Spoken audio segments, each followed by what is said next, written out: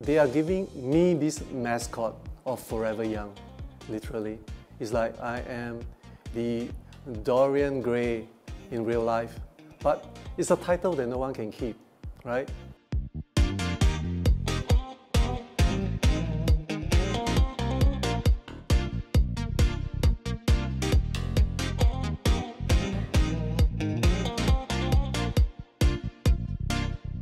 I still can remember that fateful morning when I woke up to a rude shock.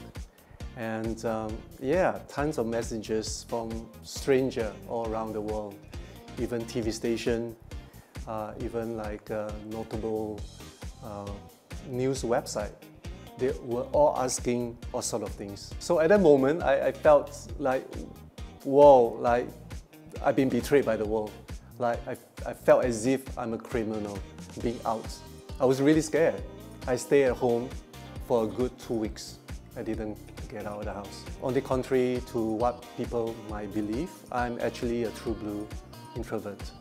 I'm really shy and too shy for my own good, I would say that. This constant question that being asked that I get, like, what's your secret? What do you do? Eventually, it gets into me. I, I do feel the pressure. Maybe they all want a shortcut, a secret to how to keep their youth, right? Deep inside, I know I'm not that young. I know myself, I'm aging. As much as I don't think I look that young, I could be a person who um, look like a healthy version of someone of my age.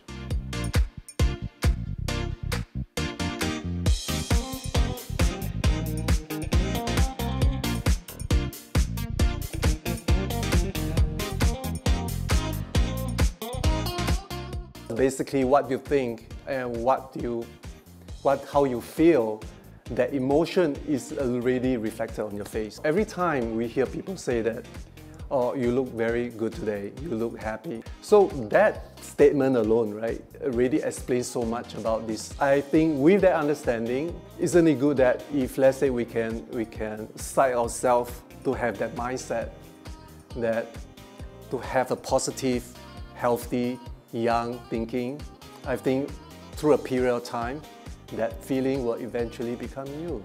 I would be lying if I say that it never crossed my mind that I want to learn how to how not to age. But you know, this is something that you can't because aging is inevitable. I would say that I'm no different from anyone else. Um, by the time I reach 60, I mean, of course, I'm still going to do whatever I love photography and my businesses and all that. But I would like to take it more easy. I would love to visit the world and then perhaps continue to inspire people with my routine, with my exercises and all that. And that would be a dream come true.